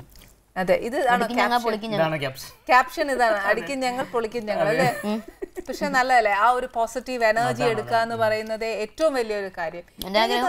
എന്റെ ആഗ്രഹം ഞങ്ങളുടെ ജീവിതം മറ്റുള്ളവർക്കൊരു ഗുണപാഠമായി മാറണം തീർച്ചയായിട്ടും വിജി. അത് ഉറപ്പായിട്ടും വരട്ടെ. അങ്ങനെ തന്നെ വരട്ടെ. മോക്ക് കറിയൊക്കെ ഇഷ്ടമായോ പിന്നെ സൂപ്പർ. അടിപൊളി. അതുകൊണ്ട് എനിക്ക് ഇന്ന് എന്ത് ചെയ്യണമെന്നറിയോ? അത് കഴിച്ചു കഴിഞ്ഞിട്ട് എനിക്ക് നല്ലൊരു പാട്ട് പാടിത്തരും തരും പിന്നെ മോളെ ലൈഫിൽ എന്തൊക്കെ ഇനി ചെയ്യാൻ മോൾക്ക് ആഗ്രഹം? ഡോക്ടറേറ്റ് എടുത്തു. ഇനി നെക്സ്റ്റ് സംഗീതത്തിൽ എന്താ ചെയ്യാനാ പോവാ മോൾ? ഇങ്ങനെ പഠിച്ചുകൊണ്ടേ ഇരിക്കുക അപൂർവരാഗങ്ങൾ. സെർച്ച് ചെയ്ത് സെർച്ച് ചെയ്ത്. ബാലമുരളി സാറാണ് എന്റെ ഫാനാട്ടോ.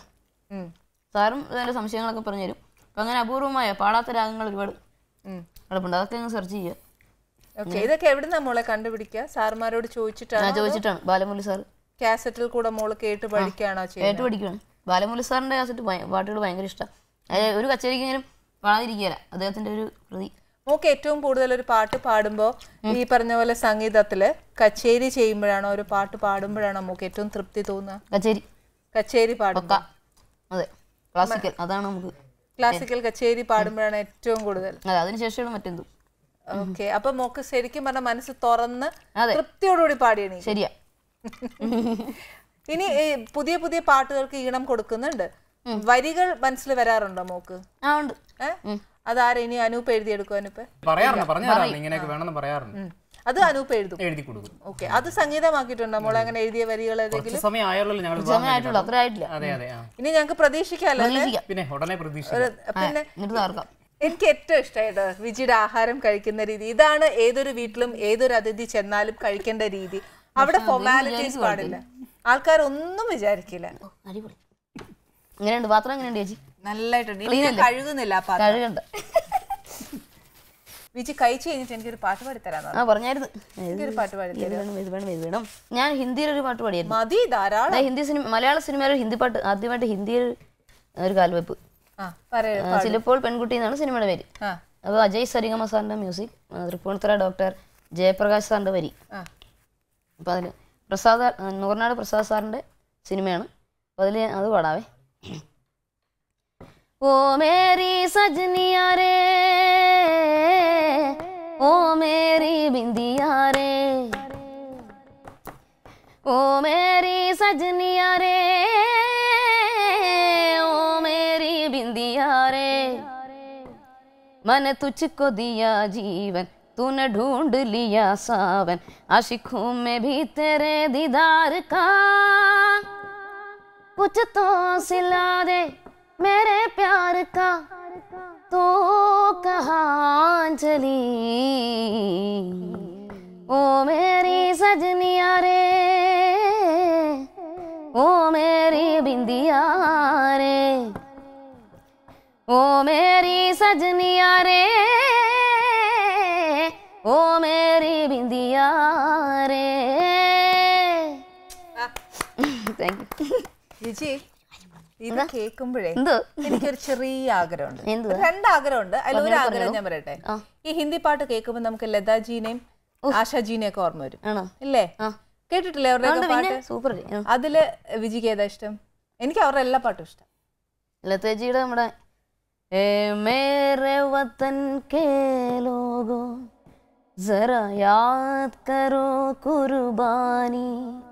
जो शहीद हुए हैं उनकी जरा याद करो कुर्बानी സാക്രിഫൈസിനെ കുറിച്ചാണ് നമ്മുടെ ഏറ്റവും വലിയൊരു എനിക്ക് തോന്നുന്നു ശരിക്കും വിജി ഒരു മെസ്സേജ് പോലെയാണ് നമുക്ക് തന്നത് വിജയ ജീവിതമാണ് വിജയുടെ സന്ദേശം യെസ് ഞങ്ങളുടെ ജീവിതം അത് തന്നെ അതെ വിജയാണ് അതാണ് എല്ലാവർക്കും എപ്പോഴും സന്തോഷമായിരിക്കുന്ന വിജയ് ആഗ്രഹിക്കുന്നു എന്നാൽ ആ സന്തോഷം നമ്മളിലേക്ക് എത്തുന്നു അതാണ് ശരി തീർച്ചയായിട്ടും വിജയ് സ്വയം ഒരു മെഡിസിൻ ഉണ്ടാക്കിയെടുത്തിരിക്കുകയാണ് സന്തോഷം ഞാൻ സന്തോഷവതിയാണ് അതെ ഇനി വിജി രണ്ടാമത്തെ ഒരു ആഗ്രഹം എന്താ അറിയോ ഉട്ടുപ്പിയിലെ ഒരു രാജകുമാരൻ എന്ന് പറഞ്ഞൊരു സിനിമയിലെ അത് രാജാവ് രാജാവ്. യെസ് രാജകുമാരനല്ല രാജാവ്. അതിനകത്ത് നല്ലൊരു പാട്ടുണ്ട്. ഓ, പേജ് വേണം. പക്ഷെ എല്ലാം മൂന്നാൽ പേരുണ്ട്. പകുതി വേണ്ട. ഓരോ രണ്ടുപേരെങ്കിലും വരെയെങ്കിലും പാട്ട് ഒപ്പിഞ്ഞു പോണ വഴി ഏത്? ഉട്ടോപ്പിയുടെ തെക്കേത്? തെക്കോട്ട് പോണ വഴി ഏത്? ഉട്ടോപ്പിയുടെ വടക്കേത്? വടക്കോട്ട് പോണ വഴി ഏത്? ഉട്ടോപ്പിയുടെ കിഴക്കോട്ട് പോണ വഴിയേത്? കുട്ടോപ്പിയുടെ പടിഞ്ഞാറ് പടിഞ്ഞാറ് പോണ വഴിയേത്? നെടുകെ ചെന്നിട്ട് മേപ്പോട്ട് മേപ്പോട്ട് പോണ വഴിയേത്? മോളിൽ ചെന്നിട്ട് കീപ്പോട്ട്. എന്റെ പോഞ്ഞോ ഞാൻ പൊന്നോ? താങ്ക് യു വെരി മച്ച് എനിക്ക് വളരെ സന്തോഷമായിട്ട്. ഇവിടെ വന്ന് ഇത്രയും നേരം വർത്താനം പറഞ്ഞ് ഞങ്ങൾക്കൊരു സംഗീതം തന്നു. ഒരുപാട് നല്ല വർത്താനം തന്നു.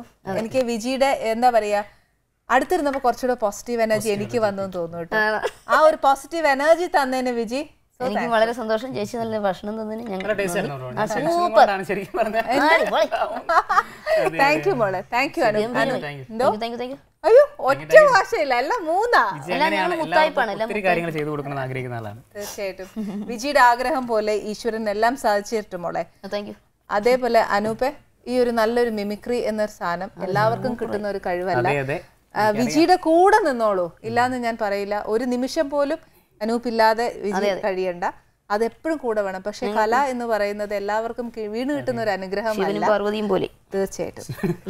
അല്ല തീർച്ചയായിട്ടും. അത് വിജി പറയുന്ന കറക്റ്റ് ആണ്. ഒരു കല ഒരിക്കലും വഴി കളയരുത്. അത് മാക്സിമം എന്താ പറയാ പ്രാക്ടീസ് അതിന്റെ കൂടെ ബിസിനസ്സും വേണം ഇല്ല എന്നല്ല ജീവിതമാർഗമുണ്ട് അതും എല്ലാം വേണം പക്ഷെ കല ഒരിക്കലും ഉപേക്ഷിക്കരുത്. ഒരു ചിന്ന റിക്വസ്റ്റ് മാത്രമേ ഉള്ളൂ. ഒരു ശക്കലം എനിവേ താങ്ക് യു മോനെ. താങ്ക് യു വെരി മച്ച് പിന്നെ അനൂപിനോട് ഒരു സ്പെഷ്യൽ താങ്ക്സ് ഇല്ല. ഞങ്ങളുടെ എല്ലാ മലയാളികളുടെയും പ്രേക്ഷകരുടെയും മനസ്സിലും അനൂപിന് ഒരു വലിയ സ്ഥാനമുണ്ട്. അത് പറഞ്ഞറിയിക്കാൻ പറ്റില്ല. എല്ലാ കുടുംബത്തിലെയും ഒരു പ്രിയപ്പെട്ട മരുമകനായി എന്നും ഞങ്ങളുടെ കൂടെ ഉണ്ടാവും. താങ്ക് യു മോനെ. ഞങ്ങളെ വിളിച്ചതിന് വളരെയധികം നന്ദിയുണ്ട്. പ്രത്യേകിച്ച് ചേച്ചിയോടും നന്ദിയുണ്ട്. അതെ അതെ. ഇന്നത്തെ നമ്മുടെ എപ്പിസോഡിനെ കുറിച്ച് ഞാൻ കൂടുതൽ വാക്കുകൾ പറയണ്ട. പക്ഷെ ഒരു കാര്യം എനിക്ക് ഇതിൽ നിന്ന് മനസ്സിലായെന്ന് വെച്ചാൽ ഇനി ഒരാൾ പോലും നമ്മുടെ ജീവിതത്തിൽ ഒരു കുറവുണ്ടെങ്കിൽ അതൊരു കുറവായി കാണരുത്. വിജി ഒരു നമ്മുടെ എല്ലാവരുടെയും ജീവിതത്തിൽ ഒരു മാതൃകയായി തന്നെ വരണം. ഇതേപോലെ നല്ല മെസ്സേജസ് ഒക്കെ കിട്ടാൻ വേണ്ടി അടുത്ത എപ്പിസോഡിൽ നമുക്ക് പുതിയ വിഭവവുമായിട്ട് പുതിയ അതിഥിയുമായിട്ട് നമുക്ക് വീണ്ടും കാണാം. Children good bye costume courtesy for Annie Jovito designer studio Trivandrum.